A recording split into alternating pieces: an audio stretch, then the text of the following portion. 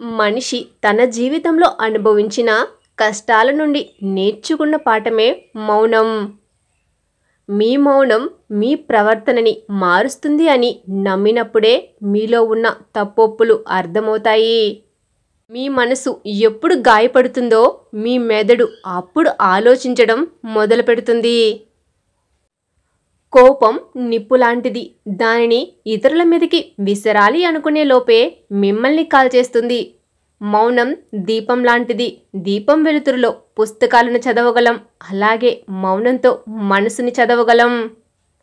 కోపం మనసులో కాదు మాటల్లో మాత్రమే ఉండాలి. ప్రేమ మాటల్లోనే కాదు మనసులో కూడా ఉండాలి.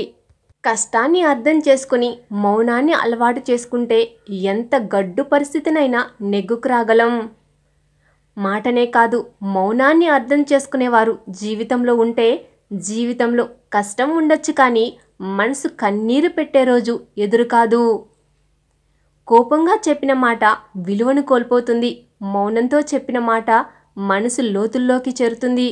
కనీస కారణం లేని కోపం అవసరం లేని చోట మౌనం మనిషిని మానసికంగా బాధ పెడుతుంది.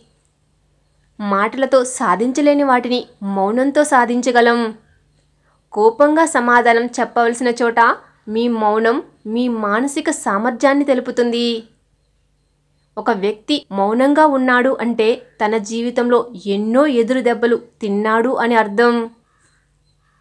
మాట గాయాన్ని మోసినవారు మాత్రమే మౌనంగా ఉండగలరు.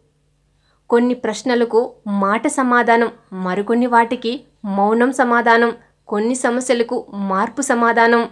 జీవితం నువ్వు ఎదురు చూస్తున్నట్లుగా ఉండదు కానీ నువ్వు ఎదురొస్తున్నట్లు మార్చుకోవచ్చు. ఓపికతో మౌనంతో ప్రయత్నిస్తే కానీ సాధ్యం కాదు. మౌనం మంచివారి చేతికి దొరికిన సరైన ఆయుధం. మౌనాన్ని ఉపయోగించుకోవడం తెలిస్తే దేనినైనా సాధించవచ్చు. అయితే మౌనానికి కాస్త ఓపిక తోడవ్వాలి. ఈ వీడియో మీ అందరికీ నచ్చింది అని అనుకుంటున్నాను. నచ్చితే తప్పకుండా లైక్ చేయండి కామెంట్ చేయండి మీ ఫ్రెండ్స్కి ఫ్యామిలీ మెంబర్స్కి షేర్ చేయండి. మరికొన్ని మంచి వీడియోస్ కోసం ఛానల్ని సబ్స్క్రైబ్ చేసుకోండి. Thank you.